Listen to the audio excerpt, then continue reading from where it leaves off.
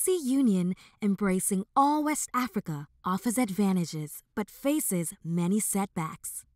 Hello, and welcome to Africa Unveiled.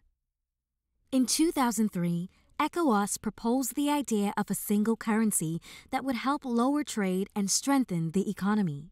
Initially, it was intended for the West African Monetary Zone governments to launch the currency first, which would later be integrated with the CFA franc used by the French speaking West African countries. ECO was selected as the currency's name during a meeting in Abuja and was expected to be launched in 2020. However, its debut has been postponed several times due to difficulties such as being under economic pressure and the inability to pay their national debts. For the ECO to be implemented, 10 convergence criteria set out by the West African Monetary Institute must be met, with the primary four being a single digit inflation rate at the end of each year, a fiscal deficit of no more than 4% of the GDP a central bank deficit financing of no more than 10% of the previous year's tax revenues. Gross external reserves that can give import cover for a minimum of three months. Meeting the convergence criteria has proven to be a significant issue since some ECOWAS countries were not able to satisfy the requirements for the 2020 deadline. The CFA franc is the official currency of eight West African countries Benin, Burkina Faso, Guinea Bissau, Ivory Coast, Mali, Niger, Senegal, and Togo. On December 21st of 2019, Ivorian President Alassane Ouattara and French President Emmanuel Macron confirmed that the CFA franc would be reformed and renamed the ECO. This renaming will allow the currency to become financially independent from France, since the CFA franc is considered as one of the last remaining symbols of French colonial rule in Africa. Kemi Seba is a well known activist, author, and Pan Africanist who has spoken out against the CFA. He began a widespread currency protest in the Francophone region and argued that the currency, which French colonists first introduced in the early 1940s, serves as a symbol of the mistreatment their ancestors endured at the hands of their invaders. More people joined the demonstration as they demanded the elimination of colonial era currency. On August 19th of 2017, Seba was arrested and charged with causing property damage to the Central Bank of West African States after burning a 5,000 CFA note in Senegal.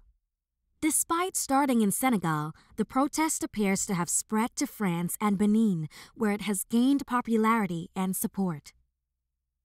Nigeria and the ECO For the currency to be put into use, the Central Bank of Nigeria will have to give up its control of the naira, which is widely regarded as the anchor currency for West Africa.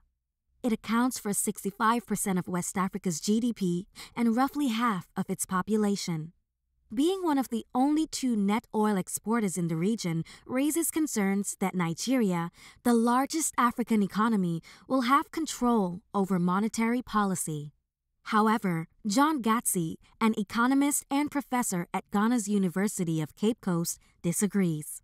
He stated, the fact is that Nigeria has not met the criteria and decided to rebase its economy generally.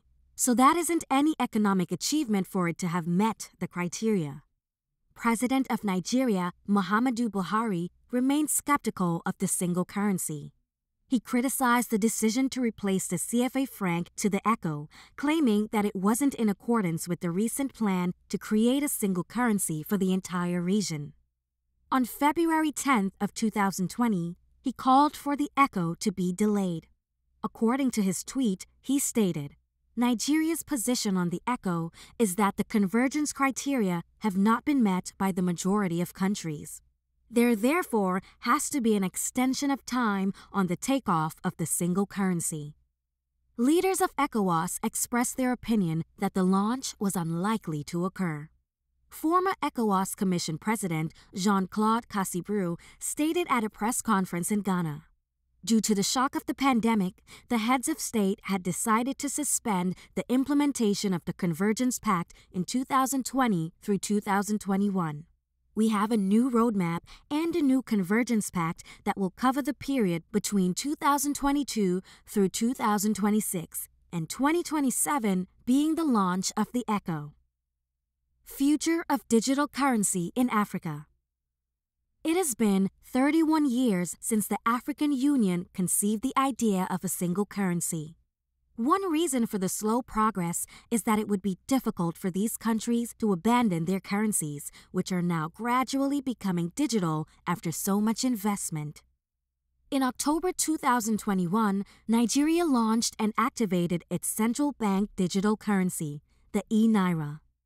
The announcement sparked a lot of interest, and in just over a month after activation, the e-Naira was used to complete thousands of transactions. Introducing digital currencies suggests that the governments are looking for methods to make their money more useful, and if they're successful, other nations in the region will likely do the same. Thank you for watching. If you found the video to be interesting or learned something new, please click the like button and share your thoughts.